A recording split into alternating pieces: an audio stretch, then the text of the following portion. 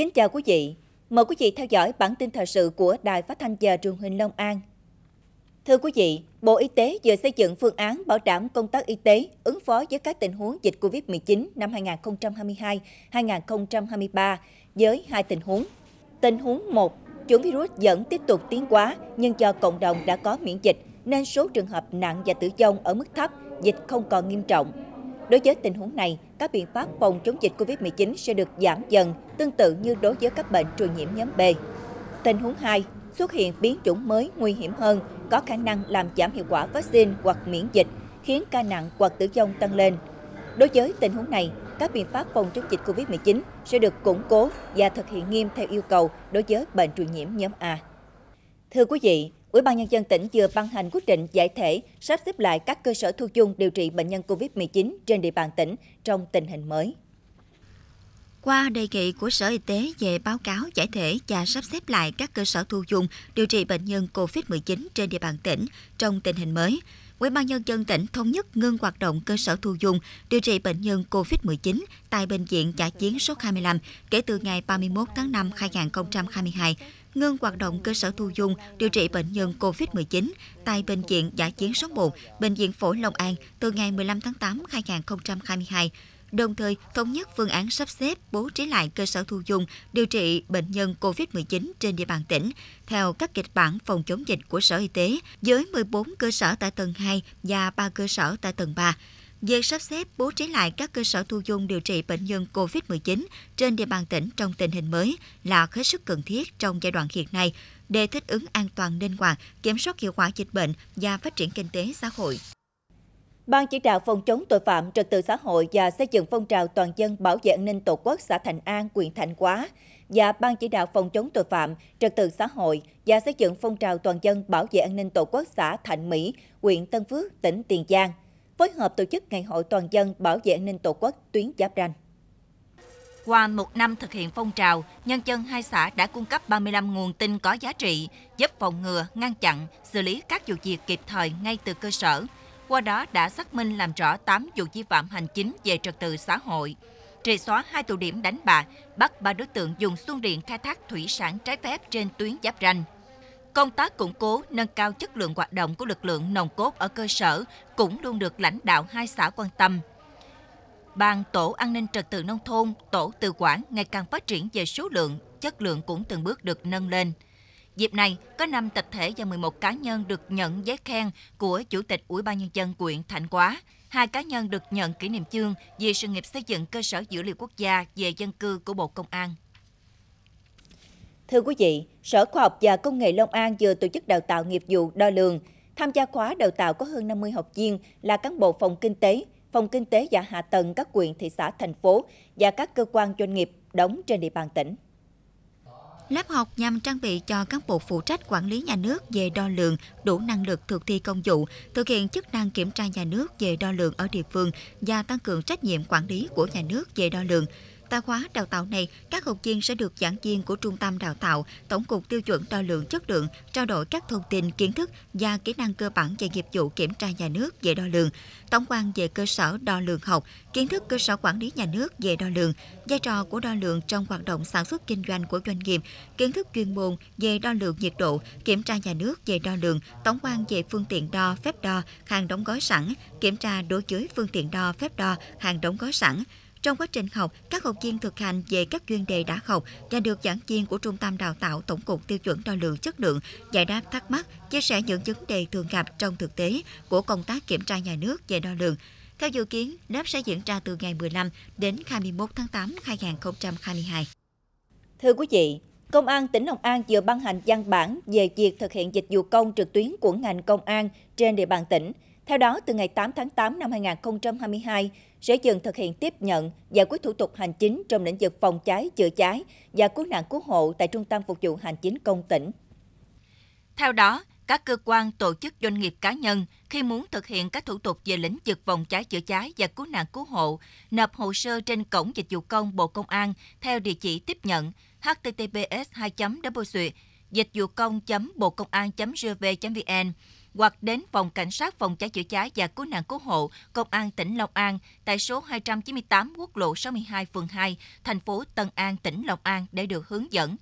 Để đảm bảo giải quyết các thủ tục hành chính liên quan đến lĩnh vực phòng cháy chữa cháy và cứu nạn cứu hộ, Phòng Cảnh sát Phòng cháy chữa cháy và Cứu nạn Cứu hộ tỉnh sẽ phối hợp với Trung tâm Phục vụ Hành chính Công tỉnh tiến hành rà soát, giải quyết những hồ sơ thủ tục hành chính lĩnh vực phòng cháy chữa cháy đã tiếp nhận còn tồn động, trả kết quả giải quyết cho tổ chức doanh nghiệp, đồng thời kết thúc hồ sơ thanh toán phí, lệ phí theo quy định trên cổng dịch vụ công của tỉnh bàn giao tài khoản của cán bộ công chức tham gia vào quy trình giải quyết thủ tục hành chính để đóng tài khoản đăng nhập đảm bảo an ninh, an toàn thông tin Thực hiện chỉ đạo của Giám đốc Công an tỉnh Long An, Công an huyện Châu Thành đã triển khai nhiều biện pháp nhằm đẩy nhanh tiến độ cấp thẻ căn cước công dân trên địa bàn. Bằng tinh thần và trách nhiệm về nhân dân phục vụ, đến ngày 16 tháng 8 năm 2022, huyện đã có trên 99.500 công dân trên địa bàn huyện đã được cấp thẻ căn cước công dân có gắn chip điện tử đạt gần 91%. Hiện Công an huyện đang phối hợp với Công an các xã thị trấn tuyên truyền vận động nhân dân đi làm căn cước công dân và liên hệ với công an các địa phương khác để tra soát diện công dân tạm trú tại địa phương đó cấp căn cước công dân cho diện không có mặt tại địa phương. Nhằm hoàn thành cơ sở dữ liệu quốc gia về dân cư, huyện Châu Thành phấn đấu đến hết tháng 8 2022 hoàn thành công tác cấp thẻ căn cước công dân cho người dân trên địa bàn huyện. Đại tá Nguyễn Minh Tấn, Phó Chính ủy, Bộ Chỉ huy quân sự tỉnh Long An đã bàn giao hai căn nhà tình nghĩa quân dân tại thị xã Kiến Tường. Hai căn nhà tình nghĩa quân dân được trao cho ông Trần Tấn Phát, ngụ ấp Cái Đô Đông, xã Bình Tân và ông Lê Tuấn Kiệt, ngụ ấp Sô Đô, xã Thành Hưng. Mỗi căn nhà được Bộ Chỉ huy quân sự tỉnh hỗ trợ kinh phí xây dựng 60 triệu đồng. Tại buổi lễ bàn giao nhà, Bộ Chỉ huy quân sự tỉnh, Ủy ban nhân dân thị xã Kiến Tường, Ban Chỉ huy quân sự thị xã, xã Bình Tân, xã Thành Hưng cũng gửi tặng mỗi gia đình một phần quà mừng nhà mới. Việc bàn giao nhà tình nghĩa quân dân thể hiện tình cảm của cán bộ chiến sĩ Ban Chỉ huy quân sự tỉnh Long An, mong muốn chăm lo động viên, giúp gia đình quân nhân, gia đình chính sách gặp khó khăn về nhà ở, có nhà ở kiên cố, có thêm điều kiện để dương lên, ổn định cuộc sống trên tinh thần gắn kết tình nghĩa quân dân. Nhằm góp phần chung tay xây dựng xã nông thôn mới nâng cao, Hội Liên hiệp Phụ nữ xã Mỹ Lộc, huyện Cần Duộc triển khai thực hiện mô hình vườn ươm giống qua. Mô hình không những tiết kiệm được chi phí mua cây giống mà còn góp phần tuyên truyền, nâng cao ý thức của hội viên phụ nữ và người dân về bảo vệ môi trường, trồng, chăm sóc cây xanh. Để thực hiện mô hình, Hội Liên hiệp Phụ nữ xã đã vận động xã hội hóa gần 10 triệu đồng mua phân, cây giống, chậu. Chị em phụ nữ trực tiếp tham gia làm bầu ươm cây giống, chọn các loại cây qua phù hợp để nhân rộng và chăm sóc. Sau khi ươm thành công, các cây sẽ được trồng trên những tuyến đường giao thông nông thôn do Hội Liên hiệp Phụ nữ xã đăng ký quản lý và chăm sóc. Để thực hiện cái à, à, hoạt động xây dựng xã nông thôn mới nâng cao à, thì Hội Liên hiệp Phụ nữ xã Mỹ Lộc đã triển khai thực hiện cái mô hình là vườn ươm giống hoa để trồng hoa trên các cái tuyến đường thì từ lúc triển khai đầu năm đến nay thì hội đã cho nhân rộng nhân ra được là à, 12.000 cây giống hoa và đến nay đã trồng được à, 9.000 cây à, trên bốn cái tuyến đường. Hội sẽ tiếp tục à, cho các chị em để à, thực hiện các cái tuyến đường còn lại. Mô hình vườn ươm giống qua không tốn nhiều kinh phí thực hiện nhưng mang lại hiệu quả tích cực. Hiện tại vườn ươm giống qua phù chu tím trong thời gian tới, Hội Liên hiệp Phụ nữ xã Mỹ Lộc sẽ chọn thêm nhiều loại cây hoa phù hợp ở địa phương để nhân rộng mô hình. Thưa quý vị, khi nước lũ bắt đầu đổ về cũng là lúc những sản vật mùa nước nổi cũng đến chợ nhiều hơn. Trong những ngày qua tại chợ Tân Hưng đã bắt đầu xuất hiện cá linh non. Loài cá được xem là đặc sản của mùa nước nổi miền Tây. Năm nay, cá linh non xuất hiện sớm hơn năm rồi, khoảng nửa tháng. Vào thời điểm hiện tại, cá linh non còn rất nhỏ, con lớn nhất cũng chỉ bằng đầu đũa ăn. Tuy nhiên, do là sản vật đặc trưng nên có giá khá cao, cho khoảng 230 đến 270 ngàn đồng một ký tùy vào buổi chợ. À, mặt hàng đầu mùa mùa nước này thì à, lúc nào nó cũng chạy rồi, tới khi mà ăn khoảng à, tầm khoảng 10 ngày cá nó bự thì chỗ nào cũng có thì nó nó nó, ít lợi. Thì đầu nguồn thì lúc nào nó cũng phải chạy hơn mấy cái ở cái huyện khác. Này đi bán đi rơi xa gửi các huyện khác, thành phố Bình Dương rồi này nọ ai ăn thì cứ gỡ đi vậy đó. Bên cạnh cá linh non, các sản vật đặc trưng khác như bông điền điển, khẽ nước, bông súng cũng đã xuất hiện với giá dao động khoảng 50 đến 60 ngàn đồng một ký đối với bông điền điển, khẽ nước và 5 đến 6 ngàn đồng một cuộn bông súng. Cơ quan Cảnh sát điều tra Công an tỉnh Hà Nam đã khởi tố bắt tạm giam đối tượng Nguyễn Trường Giang, sinh năm 1997, trú tại thôn 8 xã Chính Lý, Lý Nhân, tỉnh Hà Nam, về tội giết người.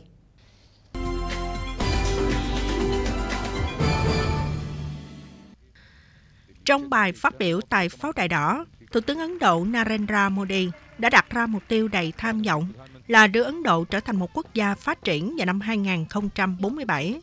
cũng là năm Ấn Độ sẽ kỷ niệm 100 năm độc lập. Thủ tướng Modi nhấn mạnh, trong 25 năm tới, Ấn Độ cần tập trung vào năm mục tiêu, mà trước hết là trở thành quốc gia phát triển. Theo Thủ tướng Modi, điều quan trọng là phải làm việc chăm chỉ. Ông kêu gọi giới trẻ cống hiến 25 năm tiếp theo của cuộc đời mình cho sự nghiệp phát triển của đất nước. Về lĩnh vực môi trường, Thủ tướng Modi tuyên bố nước này nỗ lực hướng tới nền kinh tế vòng tròn và chính sách mới về tiêu hủy phương tiện là một phần trong đó, cũng như việc thành lập sứ mệnh hydrogen quốc gia để khuyến khích nhiên liệu xanh. Bên cạnh đó, Thủ tướng Modi còn cho biết chính phủ cam kết thực hiện mục tiêu bao phủ 100% các chương trình phúc lợi. Ấn Độ nằm trong thế giới thứ ba vào thời điểm độc lập khỏi Anh vào năm 1947. Tuy nhiên, sau 7 thập kỷ, Ấn Độ đã trở thành nền kinh tế lớn thứ 6 thế giới, với GDP là 2,7 nghìn tỷ đô la Mỹ.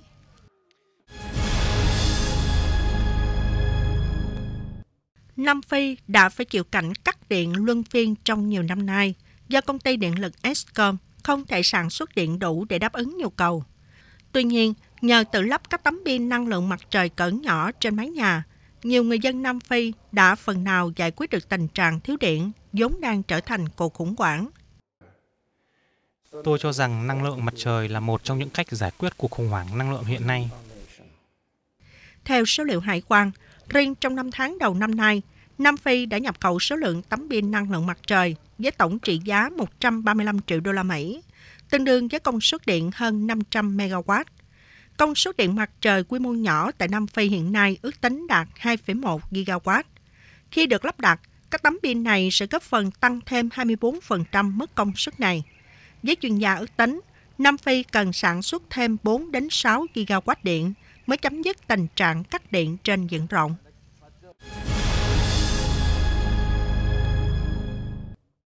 Toyota, Volkswagen và Hyundai là ba hãng ô tô đứng đầu thế giới về doanh số bán xe 6 tháng đầu năm 2022. Theo dữ liệu chính thức do các hãng xe công bố, Toyota dẫn đầu với 5,138 triệu chiếc xe được bán trên thị trường toàn cầu. Tiếp đến là Volkswagen với 4,006 triệu chiếc và Hyundai Motor với 3,299 triệu xe. Tuy nhiên, doanh số bán hàng của các hãng sản xuất ô tô đều giảm so với trước đó một năm.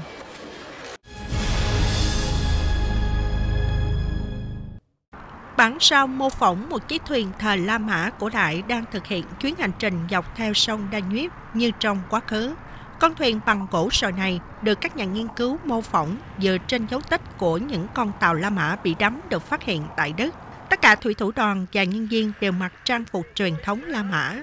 Khởi hành từ Đức, thuyền sẽ đi xuyên 10 quốc gia dọc sông Danube. Đây là một phần của dự án Living Danube làm do Liên minh châu Âu tài trợ nhằm nâng cao nhận thức về di sản thời La Mã của khu vực. Dự án này cũng là bước chuẩn bị cho việc đề cử di sản thế giới của UNESCO. Chúng tôi muốn đưa ra khái niệm về đường biên giới La Mã và hệ thống pháo đài của nó dọc theo sông Danube sẽ cùng nhau trở thành một phần của di sản thế giới được UNESCO công nhận. Living Danube Land là một dự án xuyên biên giới với sự tham gia của 10 quốc gia Danube cùng hợp tác để tái thiết lập làm hay đường biên giới La Mã trước đây, một mối liên kết văn hóa chung của miền Trung và Đông Nam Âu.